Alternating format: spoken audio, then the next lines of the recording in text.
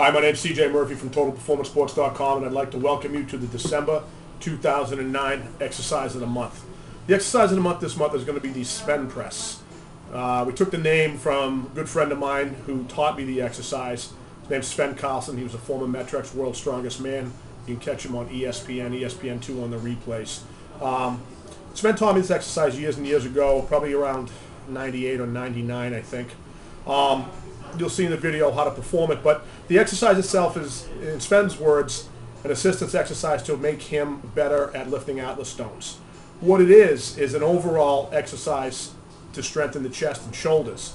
It's great for people that compete in strongman to aid them in lifting stones. It's also great for anybody that competes in sports that would require you to wrap your arms around something like a football player, a judo competitor, uh, mixed martial artists, uh, Brazilian Jiu-Jitsu, any sport where you're required to grab onto your opponent and hang on. Uh, this is a great exercise to, to build what we call the wrap. There's several different, excuse me, there's several different progressions of the exercise you're going to see. Uh, the first basic way is going to be with two 10-pound plates. You can start out with two 5-pound plates. That's up to you depending on your strength level.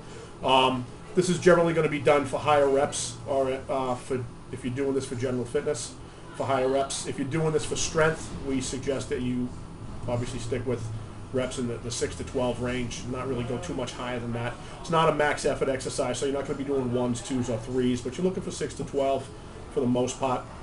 General fitness, you're going to keep the reps a little bit higher, 10 to 12, uh, because you can't load this exercise as heavily as some of the other exercises that you could do, like a dumbbell bench press or even a cable crossover per se. But we feel this exercise, the Svend press, has a little bit more transfer to athletics than things like flies and cable crossovers, even though you can't load them as heavily.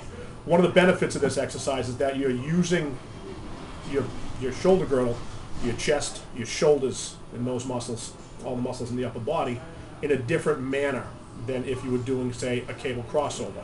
With this exercise, because you're pressing the hands together this way as hard as you can the entire time, you have an isometric contraction, and because you're moving the arms out and pulling them back, you have the muscles working through a range of motion as well, so you get a double benefit from this.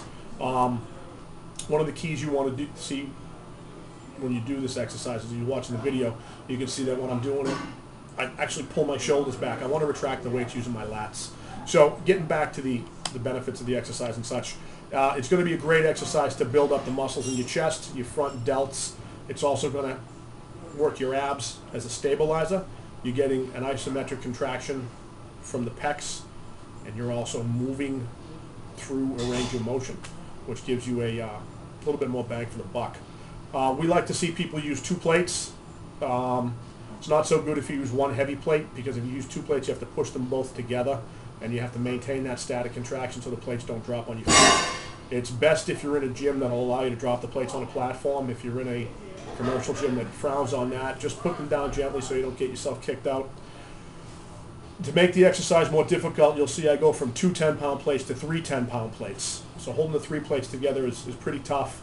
Um, we've done this with four plates and five plates, and that just gets into a little bit of a dangerous area because it's the plates end up falling all over the place. You're probably going to drop one on your toe. So we like to see you stick with three 10-pound plates, and uh, if you have to get higher reps, get the higher reps. That's okay. Um, You'll see also I use two 25-pound plates. That's fairly difficult, but I actually find that using three 10-pound plates, 30 pounds, as opposed to two 25s, which would be 50 pounds. The three 10-pound plates is actually a little more difficult because you have to actually press those hands together quite a bit harder to keep the plates from falling on your toes. Um, watch the video. Any questions, as always, email me, Murph at TotalPerformanceSports.com. I'll be happy to answer your questions if I have the time. Um, with that said, let's get on out to the gym and we'll see the three different progressions of the exercise that we have. Thanks for watching. And as always, visit totalperformancesports.com for more training information. Thank you very much.